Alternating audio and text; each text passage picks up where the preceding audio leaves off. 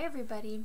So now we're going to start getting into some of the orders that you guys need to know and the specific species of insects that you need to know. So this um, this video or webinar will cover um, most of the insects that are on the first page.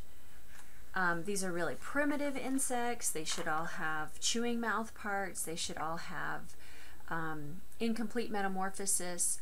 And for the contest, you need to know what its order name is, what its common name is, where you would find it, its significance, meaning is it a pest, is it beneficial, is it inconsequential, is it variable, it's either a pest or um, it's either a pest, inconsequential, or beneficial depending on where it's found. You also need to know its type of life cycle or metamorphosis, and then we'll go over some of the other things that you might have to know about them uh, that would be a good idea to know in case you're asked a specific question. So the first order that we're going to look at are Thysanura. Thysanura are all the silverfish. Another name for silverfish or another type of silverfish in this group is also called a bristletail. they are considered a pest. The host or location is inside the house. They like places that are very humid. That's why it says trunk or closet right there. But inside the house would be the host, meaning that's where they're found. They're really primitive insects. I would know that their body is covered with scales. So if you've ever touched a silverfish, it is it leaves like um, soot, like a, a gray soot on your hands. They're a pest because they feed on starch, and so they'll feed on the kind of the glue and the binding for books and magazines and other things and so they they are a damage they will damage books and libraries and they can be a pest in home where people have a lot of books they don't need a whole lot of water because they live in areas that are pretty humid. So in your house, you would probably find them in, if you didn't have a lot of books that they were feeding on, you would find them maybe in your laundry room, um, underneath the kitchen sink, in the bathroom, somewhere where it's a little bit wetter, a little bit more humid, not super dry places. What else I would know about them? The way they look, they're kind of a long triangle shape. They have very long antenna. They have these three things called cerci on the hind end. Um, and those are kind of like antenna, but on their hind end. They're they're meant they're kind of an appendage that helps them sense things behind. They have an incomplete metamorphosis, but it's ametabolous. I would remember that. So they're ametabolous. They have young, or you might be able to call them nymphs. But when you look in the um, information for the guidelines for ametabolous insects, they're calling the immature form young. The second order to know um, and this is for intermediates and seniors, is Ephemeroptera. So if you're a junior, you can fast forward a little bit. Ephemeroptera are all the mayflies. Ephemeral means short-lived, and mayflies don't live very long. Once they emerge as an adult, they might live hours, they might maybe live a day, but their job is to find a mate, lay more eggs, and continue on with their life cycle. They're considered inconsequential while they can be a pest at sometimes or a nuisance because they emerge in mass, overall, um, they're not really of consequence to much of us. And where you would find them would be always near water because they their nymphs are aquatic. They live in the water. So they are an important diet for many fish. So environmentally, they're pretty important in that way.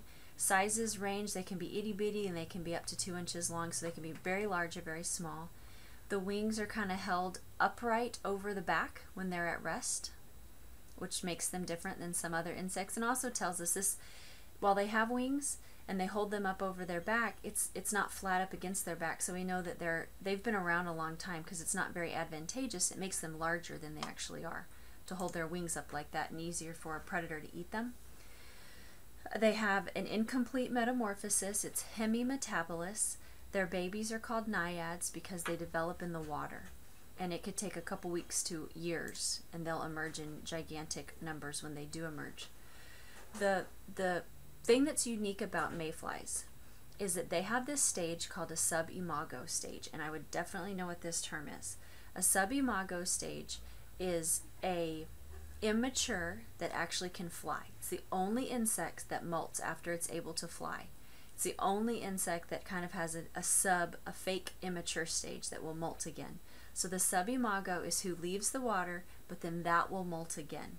And that makes them very unique. You'll only see subimago associated with Ephemeroptera. Odonata is the next order that you need to know, and there's two different species inside of Odonata that you'll need to know. So Odonata are dragonflies and damselflies. I kind of remember Odonata because if you've ever picked up a big dragonfly, they have giant mandibles, they have giant mouth parts. Odonata kind of sounds like orthodontist. Orthodontist is someone that fixes your teeth. Orthodontics, right? Fix your teeth. Um, and a big dragonfly will bite like it actually has teeth. So these are considered beneficial because they eat lots of things, especially mosquitoes and things in the water. And the host would be a stream. They're always found around water or in the water in the if it's the immature. The only damselfly that you need to know is the black-winged damselfly. And on the contest, you need to call it the black-winged damselfly. They're the only species in Texas that has solid black wings. They're really pretty. Um, you know it's a damselfly because damselflies rest with their wings folded up above their back, just like the Ephemeroptera did. If we only have to know one damselfly, if its wings are folded up, it's kind of skinnier, it's got to be the damselfly. Damselflies, all Odonata, have an incomplete metamorphosis. We call the immatures naiads because they're found in the water.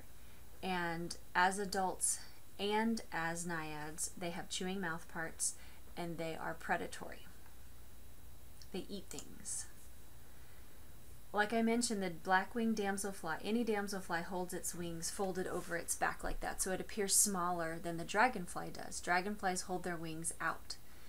That tells us that dragonflies are older because it's really not very advantageous. So damselflies have evolved this way to fold the wing over the back so they appear smaller. A dragonfly with its wings spread out is gigantic and it's easier for something to grab just the tip of that wing and they'll be able to take down a dragonfly and eat it.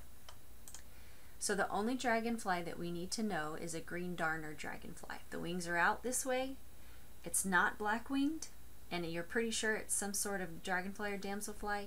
On the contest it has to be the green darner dragonfly. Pretty large, not really easy to collect. Um, they're considered predators, and sometimes they can be a pest because around beehives there'll there'll be a bunch of dragonflies, and they'll be eating the bees out of the out of the um, as they fly out of the hive.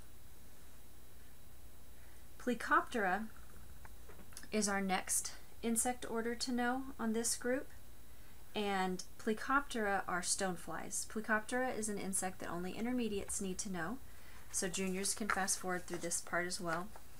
Um, they're considered inconsequential. They really don't do anything good or bad. They're just kind of there. They're also found near the water, and um, they have an incomplete life cycle. So this is kind of a harder one for some intermediates and for some seniors because they are not a common insect that we often see, at least in San Antonio area.